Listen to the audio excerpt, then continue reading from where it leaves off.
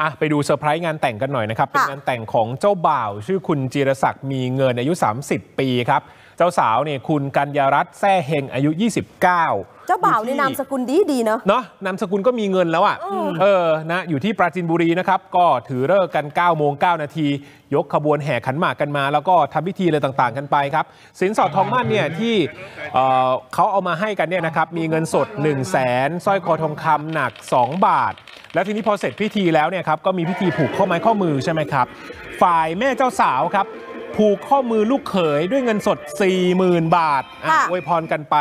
ส่วนทางฝั่งแม่เจ้าบ่าวนี่เหมือนจะมีเซอร์ไพรส์นะฮะ แม่เจ้าบ่าวนี่เขาบอกว่านำช่อดอกไม้แล้วก็เงินสด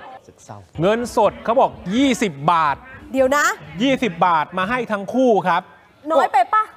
เออ20บาทนี่เหรอเออแต่ว่าเพื่อนเจ้าสาวเขาตะโกนลั่นเลยนะ บอกว่า เปิดดูเปิดดูในช่อดอกไม้มันมีอะไรซ่อนอยู่หรือเปล่าอะมีอะไรมีอะไร แกะออกมาคุณผู้ชม โอ้ครัโหบคนลุกใจหายวาบไปเจอโฉนดที่ดินสองใบ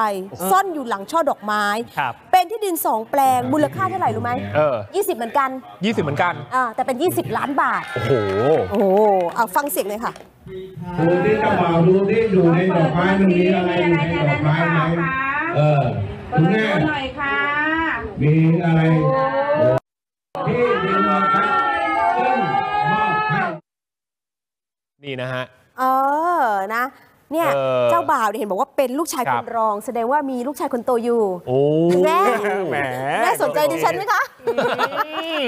เออเออนะจีบมาทางหน้าจอเลย